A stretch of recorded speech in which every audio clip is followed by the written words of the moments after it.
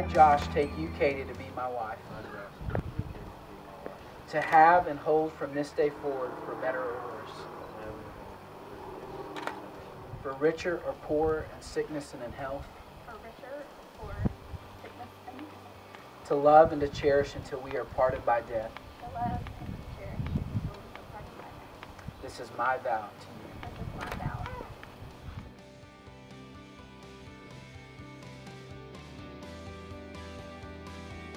invested in me by the Holy Spirit, and as a minister of the gospel, I now pronounce you husband and wife.